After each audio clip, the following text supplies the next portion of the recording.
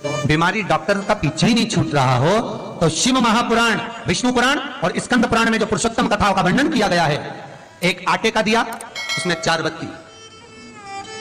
आटे के दिए में चार बत्ती रखें, तिल्ली का तेल डाल लें थोड़ा सा उसमें सरसों का तेल डालें, महाराज। घर के बाहर, अर्थात घर के अंदर के बाहर जो चौखट होती, चौखट से थोड़ा सा बाहर, बिल्कुल चौखट पे नहीं बैठना, थोड़ा सा बाहर। नौवीं तिथि के दिन, शाम के छह से साढ़े छह के बीच में 21 बार जो व्यक्ति बीमार रहता है, उसके सिर से नीचे की ओर श्री नरसिंह भगवान का स्मरण कर कर जिस अधिक मास में जिस तिथि को उतारा कर रहे हो, उस तिथि का नाम लेकर, उस अश्विन अधिक मास का नाम लेकर, जो व्यक्ति का उतारा कर रहे हो, उसका नाम और गोत्र लेकर 21 बार जो उतार कर, उस दिए को घर के ही चौखट पर रख देता है, उस व्यक्ति की बीमारी छूट जाती है महाराज, वो रोगीला नहीं रहता। शुक्ल पक्ष की नवमी तिथि, पीला चंदन घिसकर,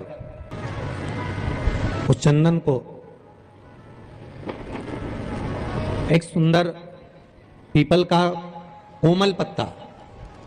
कोमल पत्ता मतलब एकदम एक तो पीपल का होता है कड़ला पत्ता, एकदम कड़क हो जाता है और एकदम होता है कोमल पत्ता। उस पीपल के कोमल पत्ते पर पीला चंदन घिसकर जो वह चंदन होता है, उस चंदन को घिसकर, उस चंदन को उस पत्ते पर रख लें।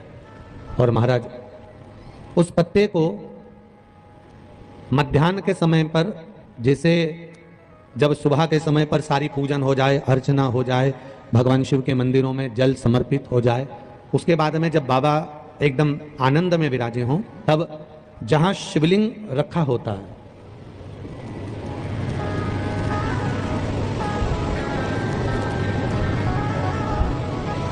जैसे ये शिवलिंग है, और ये कटी भाग जहाँ शिवलिंग रखा हुआ है इस तटी भाग पर जहाँ शिवलिंग रखा है, उसके पास में ही तीन उंगलियों से चंदन का लेपन उस तटी भाग पर करना है।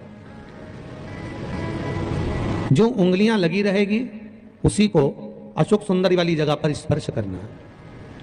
और अशोक सुंदरी वाली जगह पर स्पर्श कर कर कुछ देर तक चंदन लगे रहने देना है, उसके बाद में उस चंदन को वापस निकाल कर लेकर आना है। कटी भाग पर जो लगाया गया है, उसको भी निकाल कर वापिस लेकर आना है। फिर बाबा का स्नान नहीं कराना है, केवल चंदन लेकर आना उसी पीपल के पत्ते पर एक डिब्बी में उस चंदन को आप रख लीजिए। कुछ दिन जिसकी नेत्र ज्योति कमज़ोर है, चश्मा लग रहा हो, श्रवण शक्ति कमज़ोर हो, सुनाई कम दे रहा हो, उसके कंठ से इस ठोड़ी तक उस चंदन का तिलक लगाना प्रारंभ कर दीजिए। और नेत्रों के नीचे थोड़ा सा वो चंदन लगाना प्रारंभ कर दीजिए। लगभग 20 से 22 दिन तक आप उसका प्रयोग करिए और एक रुद्राक्ष का जल शिव को समर्पित कर कर जल का आचमन करना प्रारंभ कर लीजिए। लगभग 22 दिन लगेंगे। धीरे धीरे फिर जाकर डॉक्टर को जाँच करा लेना, नेत्र की ज्योति बढ़ना प्रारंभ हो गई। है पर विश्वास के साथ भरोसे के साथ क्योंकि सबसे मूल अगर कुछ है तो विश्वास मूल है। बीमारी डॉक्टर का पीछे ही नहीं छूट रहा हो तो शिव महापुराण, विष्णु पुराण और स्कंद पुराण में जो पुरुषोत्तम कथाओं का वर्णन किया गया है, एक आटे का दिया, उसमें चार बत्ती। आटे के दिए में चार बत्ती रखें, तिल्ली का तेल डाल लें, थोड़ा सा उसमें सरसों का तेल डालें महाराज। घर के बाहर, अर्थात घर के अंदर के बाहर जो चौखट होती, चौखट से थोड़ा सा बाहर, बिल्कुल चौखट पे नहीं बैठना, थोड़ा सा बाहर। नौवीं तिथि के दिन, शाम के छह से साढ़े छह के बीच में 21 बार जो व्यक्ति बीमार रहता है, उसके सिर से नीचे की ओर श्री नरसिंह भगवान का स्मरण कर जिस अधिक मास में, जिस तिथि को उतारा कर रहे हो, उस तिथि का नाम लेकर, उस अश्विन अधिक मास का नाम लेकर, जो व्यक्ति का उतारा कर रहे हो, उसका नाम और गोत्र लेकर 21 बार जो उतार कर, उस दिए को घर के ही चौखट पर रख देता है, उस व्यक्ति की बीमारी छूट जाती है महाराज, वो रोगीला नहीं रहता। आपका कोई काम उलझ रहा है, आपका कोई काम ऐसा है जो बहुत दिन से उलझा हुआ है, चाहे वो कोर्ट कचेरी का हो, चाहे वो किसी से जुड़ा हुआ हो और वो नहीं होना।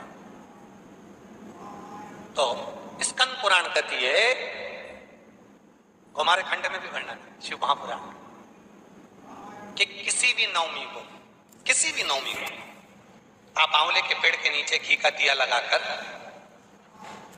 मोली मोली मतलब हाथ में जो नाड़ा बांधते हैं लच्छा मौली, लच्छा, नाड़ा, हाथ में बांधने वाला, पूजन वाला धागा, लाल घी का दिया लगाकर पाँच परिक्रमा आंवले के वृक्ष की कर लीजिए। और परिक्रमा कर कर धागे को वहीं पर छोड़कर थोड़ा सा धागा और अलग से लेकर किसी टहनी पर उसको कामना कर कर बाँध दीजिए।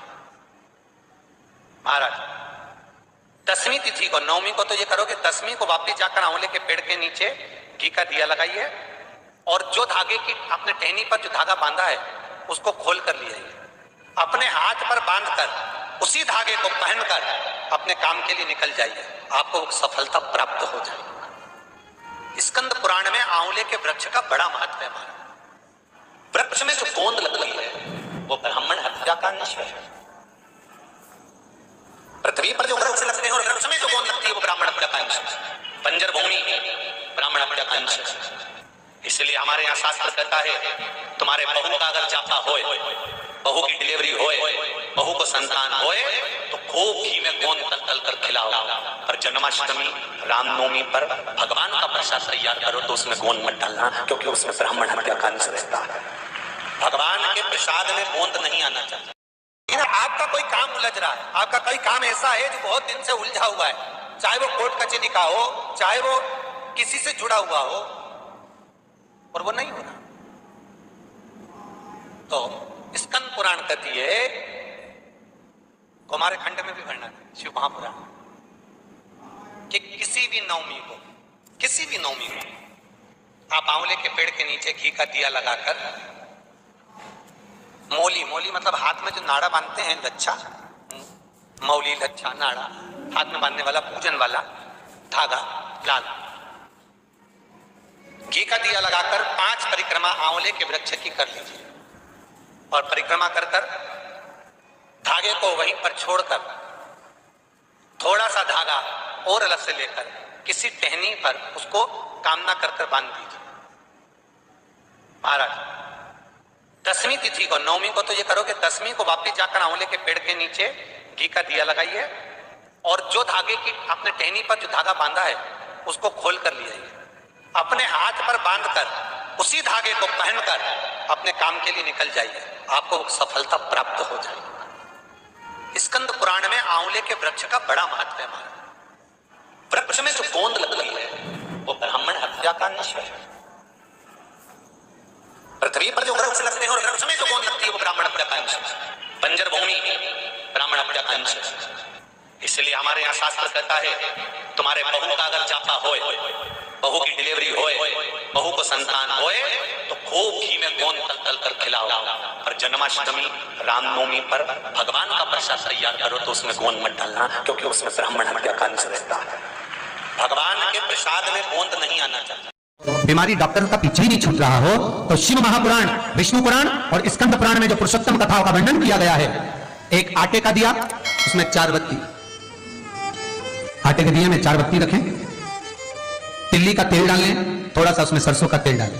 महाराज घर के बाहर, अर्थात घर के अंदर के बाहर जो चौखट होती, चौखट से थोड़ा सा बाहर, बिल्कुल चौखट नहीं बैठना, थोड़ा सा बाहर। नवमी तिथि के दिन, शाम के छह से साढ़े छह के बीच में 21 बार जो व्यक्ति बीमार रहता है, उसके सिर से नीचे की ओर श्री नरसिंह भगवान का स्मरण कर कर, जिस अधिक मास में जिस तिथि को उतारा कर रहे हो तिथि का नाम लेकर, उस अश्विन अधिक मास का नाम लेकर, जो व्यक्ति का उतारा कर उसका नाम और गोत्र लेकर 21 बार जो उतार कर, उस दिए को घर के ही चौखट पर रख देता है, उस व्यक्ति की बीमारी छूट जाती है महाराज। वो रोगीला नहीं रहता। शुक्ल पक्ष की नवमी तिथि बैसाख महीना।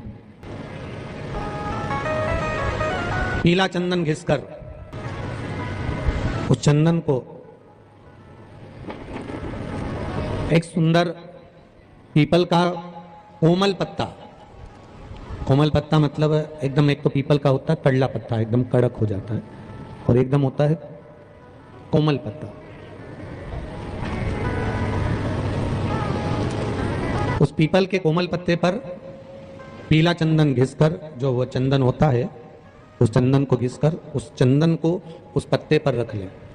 और महाराज, उस पत्ते को मध्यान्ह के समय पर जैसे जब सुबह के समय पर सारी पूजन हो जाए, अर्चना हो जाए, भगवान शिव के मंदिरों में जल समर्पित हो जाए, उसके बाद में जब बाबा एकदम आनंद में विराजे हों, तब जहाँ शिवलिंग रखा होता है,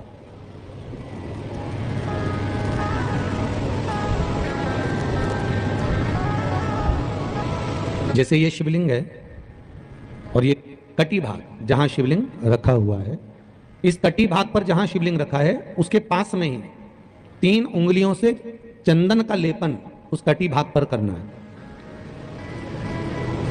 जो उंगलियाँ लगी रहेगी, उसी को अशोक सुंदरी वाली जगह पर स्पर्श करना है।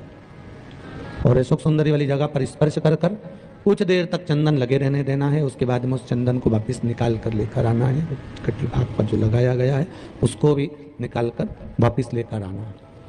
फिर बाबा का स्नान नहीं कराना है, केवल चंदन लेकर आना है। उसी पीपल के पत्ते पर रखकर एक डब्बी में, उस चंदन को आप रख लीजिए। कुछ दिन, जिसकी नेत्र ज्योति कमज़ोर है, चश्मा लग रहा हो, श्रवण शक्ति कमज़ोर हो, सुनाई कम दे रहा हो, उसके कंठ से इस ठोड़ी तक, उस चंदन का तिलक लगाना प्रारंभ कर दीजिए। और नेत्रों के नीचे थोड़ा सा वो चंदन लगाना प्रारंभ कर दीजिए। लगभग 20 से 22 दिन तक आप उसका प्रयोग करिए और एक रुद्राक्ष का जल शिव को समर्पित कर कर जल का आचमन करना प्रारंभ कर लीजिए। लगभग 22 दिन लगेंगे।